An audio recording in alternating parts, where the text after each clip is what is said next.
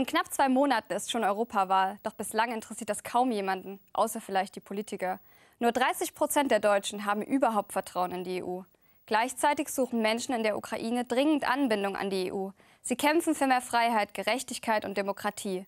Auch Kölner Ukrainer treten für ihre Landsleute ein.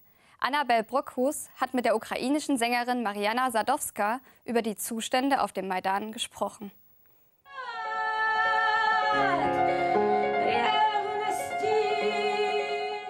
Heute singt sie in Köln.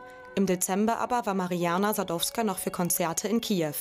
Wegen der Demonstrationen gegen Janukowitsch wurden diese abgesagt. Stattdessen sang sie auf dem Maidan. Für Sadowska war das eine sehr bewegende Zeit.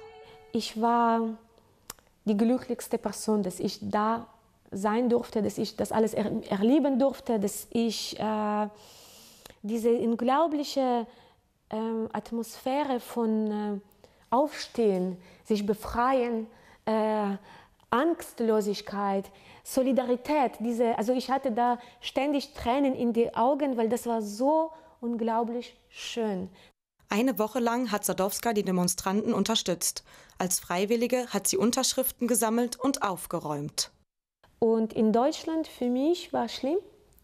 In diesem Sinne schlimm, dass äh, äh, man hier sich enorm hilflos, hilflos fühlte. Also ich spürte, ich, äh, das war dieses Gefühl, ich kann nur beobachten, was kann ich tun.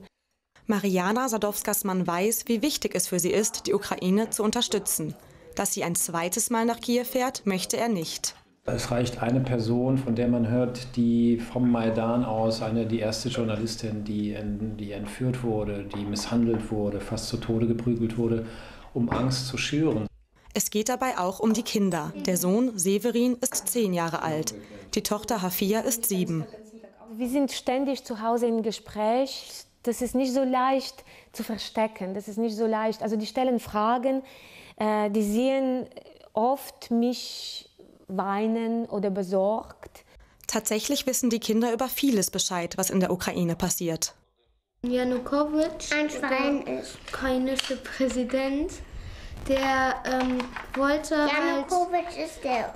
Der hat den ähm, Vertrag für, mit Europa, dass Ukraine auch zu Europa gehört, verweigert und wollte sich ähm, mit Russland halt verbünden.